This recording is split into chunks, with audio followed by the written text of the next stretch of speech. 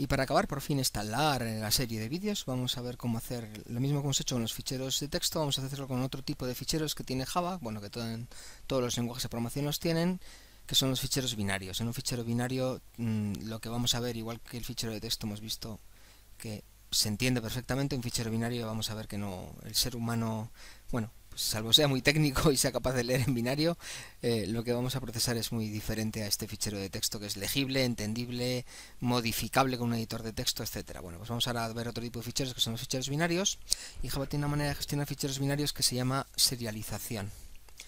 Vamos a ver cómo funciona esto. Voy a hacer el mismo trabajo que hacíamos antes de una lista que guardábamos y cargábamos en un fichero de texto, ahora vamos a hacerlo con ficheros binarios que también se llaman serializados en Java. Ahora comentamos por qué. Vais a ver que el trabajo del programador es mucho más sencillo con ficheros binarios, aunque tiene algunas pegas a cambio de esta, de esta comodidad. Voy a hacerlo igual que antes también con, con un par de métodos, uno que sea para guardar fichero binario, al que también le voy a pasar la lista, y, un y el nombre del fichero, y aquí voy a llamarle por ejemplo dat. La, extensión del fichero es conveniente que sea... Mm, coherente con el tipo de fichero. Entonces vamos a hacer un método guardar fichero binario.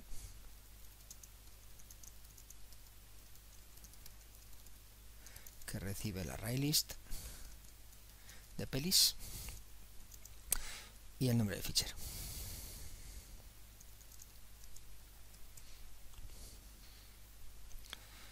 Igual que antes, eh, vamos a meter dentro try catch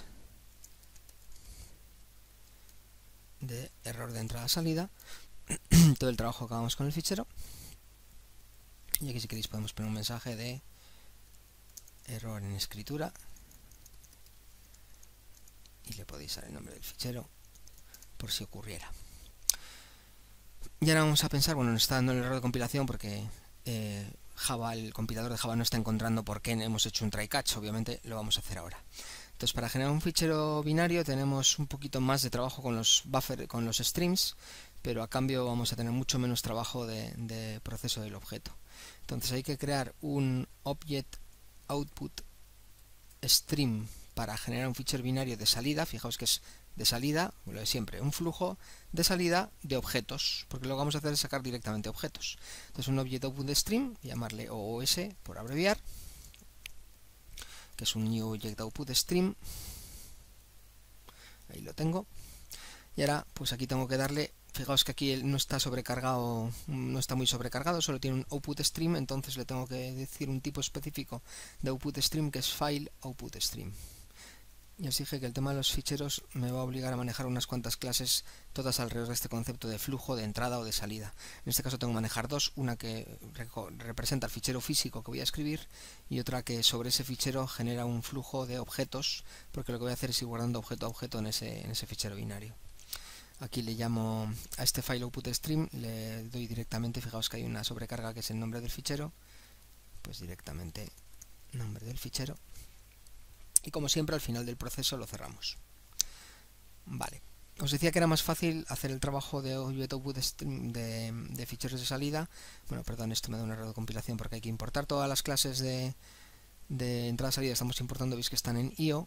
Si hacéis aquí, aunque no es una técnica de programación hay muchos autores que no la recomiendan, pero realmente es bastante cómodo a veces hacer el asterisco este que directamente te importa todas las clases del paquete IO y no tienes que andar nombrando una a una las clases. Aunque como este tema del import lo hace automáticamente las herramientas eh, de edición y de compilación, en general no, da mucho trabajo y hay muchos autores que recomiendan que se ponga al principio de la cabecera todos los imports específicos de todas las clases una a una en lugar de andar poniendo con, con el asterisco un resumen de todo el paquete, porque normalmente no usas todo el paquete, solo utilizas algunas clases, lógicamente.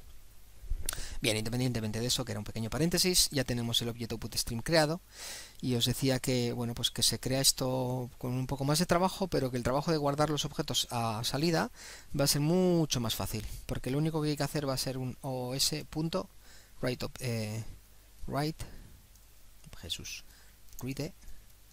object, write object. ¿Qué le tengo que decir aquí? El objeto que quiero guardar. Entonces, si quiero guardar un array list de pelis, pues podría meter esto dentro de un for each, que sea este, y cada una de las pelis la guardo. Pero esto todavía, perdón, L, o sea, peli, ¿no? Aquí le pones el objeto. Entonces, primera ventaja, cualquier cosa la puedes escribir en un fichero de binario.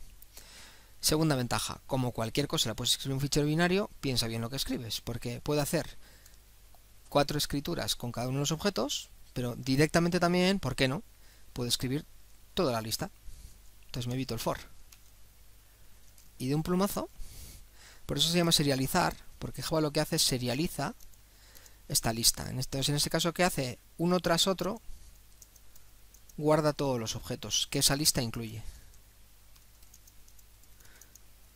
Entonces este ArrayList pues son un montón de objetos internos que entre otras cosas, y lo más importante para nosotros, tiene cuatro películas. Vale, pues esas cuatro películas va a guardar y además va a guardar todo lo que necesita para gestionar un ArrayList. Y es por eso se llama serialización. Entonces Java me escribe un fichero binario que va a constar de todos los bits y toda la codificación interna que hace falta para guardar un ArrayList. ¿Qué es lo único que hay que hacer si queremos, o sea, lo, única, el único requisito que tenemos que cumplir si queremos serializar cualquier objeto? Tenemos que ir al objeto que queremos serializar, obviamente el ArrayList ya está preparado para eso, pero el ArrayList en este caso es de pelis, vale, pues nosotros tenemos que ir a nuestro objeto peli y hacer una cosa que va a resultar un poco extraña, y es implementar una interfaz todo objeto para que se pueda serializar tiene que declarar una interfaz que es serializable. ¿Mm? También está en java.io, como veis. Implementar una interfaz ya no nos resulta raro, pero lo que es raro es fijaos en lo siguiente. Lo implemento y no hay ningún error de compilación. No es lo típico que cuando implementas un interfaz te diga Java, oye, que tienes que implementar algún método, que son los métodos de esta interfaz. Bueno, pues serializable es de los pocos interfaces que hay en Java que no tiene métodos. Lo que hace es, digamos, informar al sistema de compilación de que esta clase se puede serializar, o sea, se puede guardar y cargar de un fichero binario, pero no necesitamos implementar ningún método particular. Directamente Java hace todo el trabajo por nosotros. Una puntualización aquí sí que es interesante, veis este warning que ha aparecido, es que cuando declaras una clase como serializable es bastante recomendable y voy a ayudarme de Eclipse para eso, control 1, add default serial version id, es recomendable, por eso es un warning en lugar de, una, de un error de compilación, hacer esto, que es declarar un, eh, un atributo un poco extraño, static final long, que funciona de la siguiente manera. Esto es, voy a ponerlo como un comentario, el número de versión de este objeto desde el punto de vista desde, de la serialización. ¿Qué quiero decir con esto? Que si cambio la estructura de este objeto dentro de un día o de unas semanas, vengo aquí y le pongo un 2. Y de esa manera mis ficheros binarios sé qué versión tienen los objetos que he guardado, porque uno de los problemas que tiene la serialización es que cada vez que cambia la estructura interna de los objetos, cambia la manera en la que los guardo, y por tanto los ficheros antiguos me dejan de funcionar. Entonces, con la salvedad de que tenemos que definir esto y si no lo definimos nos va a dar un warning, aún así esto sí nos dejaría compilar y ejecutar, pero bueno, es conveniente definir este, este número de serie porque es así de fácil, siempre definir esto. Con eso ya lo tenemos. Una advertencia aquí es la siguiente. Cada vez que una clase la definís como serializable, comprobad además que la clase extiende a otra serializable también, es decir, si tienes una clase padre de la cual heredas atributos, también esa clase padre tiene que ser serializable, y por otra parte comprobar que todos los atributos también sean serializables. Obviamente todos los tipos primitivos lo son, todos los tipos eh, nativos de Java importantes lo son también, como el string, pero si aquí utilizaras, yo que sé, si aquí tuvieras un private int, eh, pues género, yo que sé, género de película, esto ahí no, o sea, género. Si tuvieras este campo, ojo porque ese campo también tiene que ser serializable.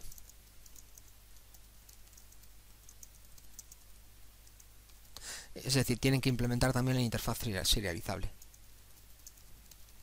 Entonces esa es la única consideración importante que hay que tener, que todas las clases relacionadas con la que quieres guardar, tanto con atributos como con herencia, es decir, clases padre que heredes, tienen que implementar el interfaz serializable no hay problema con los interfaces. Como los interfaces no tienen datos, solo tienen código, lo único que se guarda en los ficheros son datos, no se guarda el código. obviamente no se guarda el código de la película, sino simplemente lo que se va a guardar en una película básicamente va a ser esto, sus datos, sus atributos. Con lo cual son los datos los únicos que nos importan. Entonces simplemente con esto, y voy a ejecutarlo para que lo veáis, ya se ha guardado esta lista en un fichero binario, todavía no lo he visualizado porque ahora la voy a cargar, pero antes vamos a ver si refrescamos el proyecto en el cual estoy, ya que no he puesto ninguna ruta, se ha guardado en la ruta relativa de ese proyecto. Aquí me ha actualizado, veis este pelis.dat Y lo curioso, vamos a verlo aquí, si abro esto con un editor de texto, veis que esto es completamente indescifrable. Esto es lo que os decía, que un fichero binario no está pensado para que un ser humano lo pueda editar. Obviamente si vas a un editor binario sí que puedes editar esto y ver todos los trucos y todos los códigos internos. Veis que de hecho hay algunas cosas que más o menos se entienden, ¿no? Porque hay strings aquí que son interpretables, los strings en particular pues obviamente se guardan en el fichero como una ristra de, caracteres, ¿no? Pero el resto de cosas, los campos desde luego no se entienden ni se interpretan en el 2018 o 2019, aquí no los vemos por ningún lado porque se están guardando los datos en puro binario.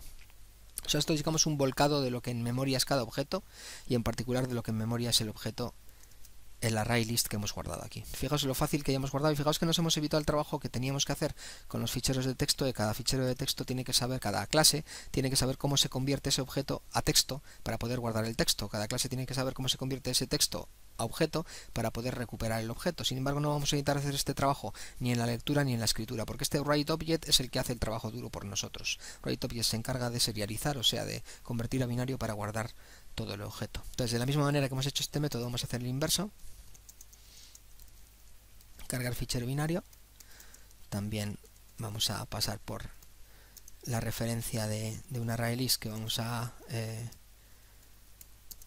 recargar desde el fichero y el nombre del fichero obviamente.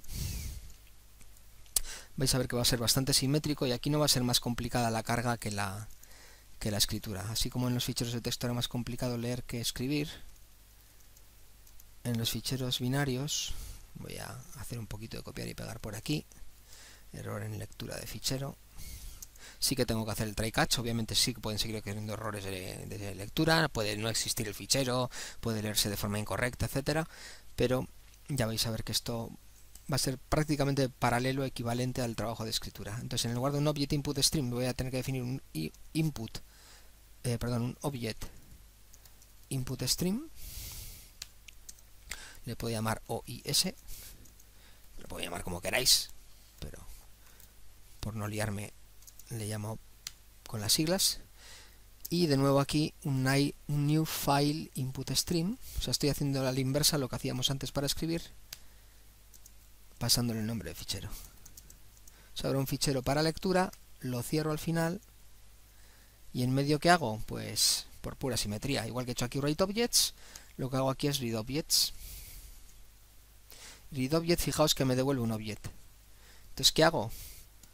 Asigno este objeto que leo y lo que hago es aquí es leer exactamente los mismos objetos que he escrito, es decir, si has escrito un array list, lo que lees aquí es un array list. Aquí sí que tienes que ser muy cuidadoso de saber, de ser tú el que hayas hecho los ficheros o de tener muy claro quién te los pase, cómo los ha construido, porque tiene que haber simetría absoluta.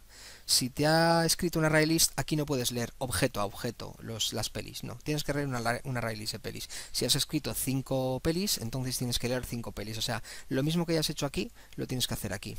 Y como lo que se es un, es un object y esto obviamente es un array list, el cast tiene que hacerlo de forma explícita. O sea, tienes que hacer explícitamente esto. Hazme una conversión, hazme un cast de objeto a array list de peli. De todo lo que sea este read de todo lo, que te devuelve este read object. Eh, eh, vale, me está dando un, error de tipos. Y fijaos que me está dando un error. El, type safety este es un, es un warning. El error importante de compilación que me está dando aquí es el unhandled exception type class not found. Esto quiere decir que, que aquí además de la excepción esta, también hay que atrapar la que se puede producir, que de hecho es una excepción no chequeada, una unchecked class not found exception. Hay dos excepciones que se pueden producir aquí, en el proceso de entrada-salida puro y en la conversión, en esta conversión, obviamente lo que lees este fichero podría ser cualquier otra cosa que no sea un array list y entonces esta conversión va a generar un error y en ese caso saldrá este error y se lanzará el, el catch de nuestro, de nuestro try catch. Os decía que esto además tiene un warning porque hay un uncheck cast, pero bueno, ese warning tiene sentido cuando leemos de binarios porque nosotros somos lo que hemos escrito este fichero, nosotros sabemos que se puede convertir y además estamos atrapando esta, esta excepción, con lo cual estamos haciendo esta gestión de forma correcta. Bien, aquí sí que hay otro problema y bueno, voy a hacer un println aquí de esta lista antes de identificar el problema. Vamos a ver que esto funciona. Eh, no lo hemos llamado, tenemos que llamar a cargar fichero binario. Con L y obviamente con el mismo nombre de el fichero que habíamos creado. Bueno, voy a ejecutarlo primero. Veis que aquí me lo ha escrito, voy a poner un poquito más de contexto. Después de cargar de fichero binario, si lo ejecuto ahora, veis que efectivamente la lista se ha cargado bien. Pero cuidado, ojo con esto, porque hasta ahora hemos estado pasando la lista L siempre eh, como parámetro y una lista que es un objeto se pasa por referencia, es decir, su referencia se está pasando como parámetro. Pero ojo, porque aquí estamos cambiando la variable local L y no el objeto original L. Esto no tiene nada que ver con ficheros, ¿eh? esto es un problema de, de, conceptos de paso de objetos. O sea, cuando yo paso esta L aquí, si aquí está L la vacío, y quiero visualizar aquí la L,